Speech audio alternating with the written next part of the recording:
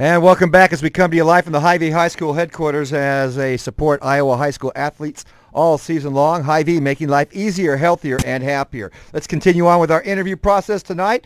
They won this, after, this afternoon or morning, sometime today at the Unidome, and I'm sure this is a tired man, but he's still going to give us a few moments to talk about his outstanding football team. West Hancock Britt Eagles head football coach Bob Sanger. First of all, congratulations on making a state title game in Class A, coach, and congratulations on victory oh, number 300.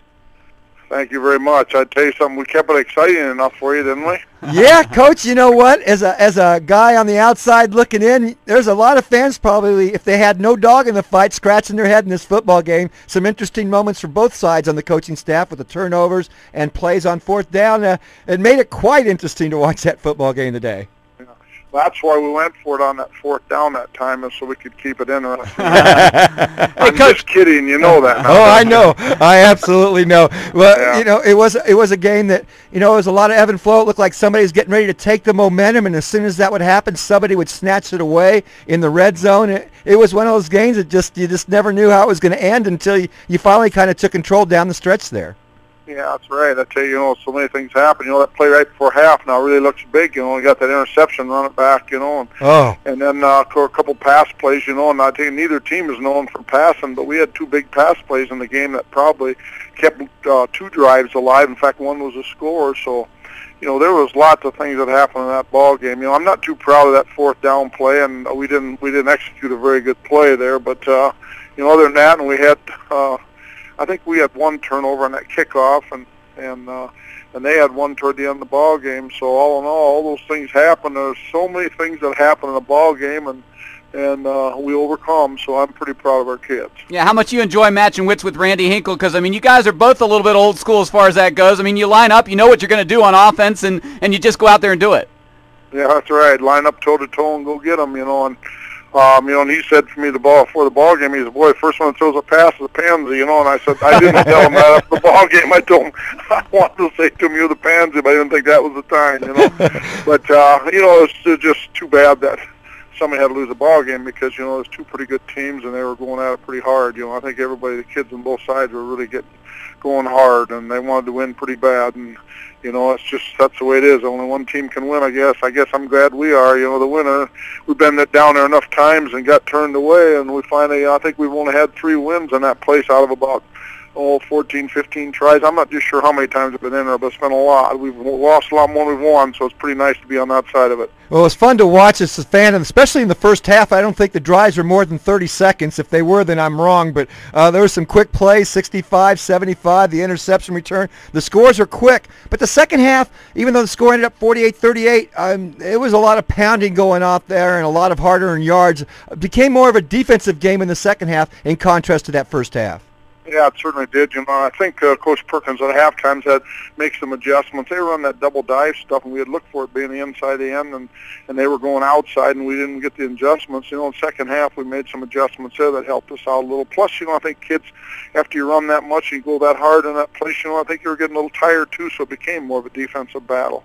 But uh, you know, it's it's just it was pretty good football. You know, I think the second half was probably we had a couple turnovers, I guess there was, but it was pretty good football for the most part, like football should be, you know, slug them out. Yeah. yeah, Bob, how gratifying was it getting to the Dome, beating that same Gehlen Catholic team that handed you your only loss in the season? Of course, you have some history with them because your lone state championship game uh, victory came against Gehlen Catholic, so maybe a good omen as well.